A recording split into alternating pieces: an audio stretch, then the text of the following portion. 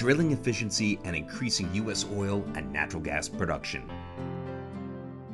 The amount of oil and natural gas produced in the United States has risen in recent years.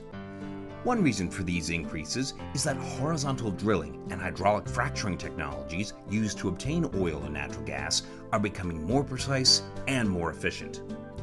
Because of this improved technology, individual drilling rigs in shale regions across the country are becoming more productive. This means the amount of oil and natural gas produced from new wells per individual rig is increasing. If you check out EIA's drilling productivity report from October 2014, you'll see this trend is noticeable over the course of a year and over the past seven years.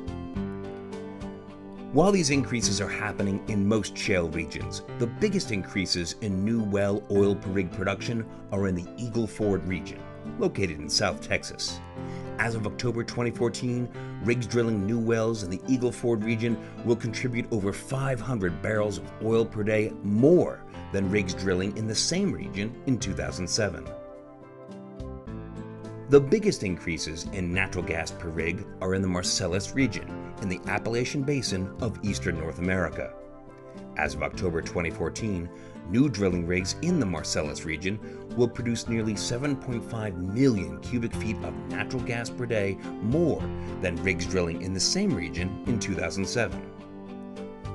Overall, because of these technological improvements, drilling oil and natural gas wells in U.S. shale regions generally produce larger quantities of oil and or natural gas than earlier drilling activity in the same regions.